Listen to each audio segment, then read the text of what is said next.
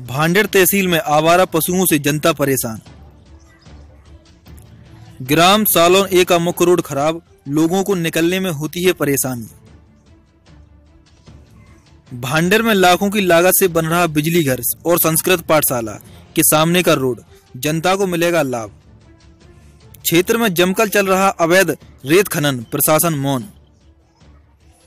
ग्रामीण क्षेत्र में भैंस चोर सक्रिय, जमकर हो रही भैंसों की चोरी।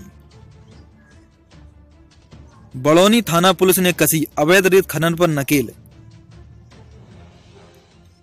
रामनहर में होगी फरवरी माह में भागवत कथा। भांडर में जल्द होगा रैन बसेरे का उद्घाटन, परदेशियों को मिलेगा लाभ।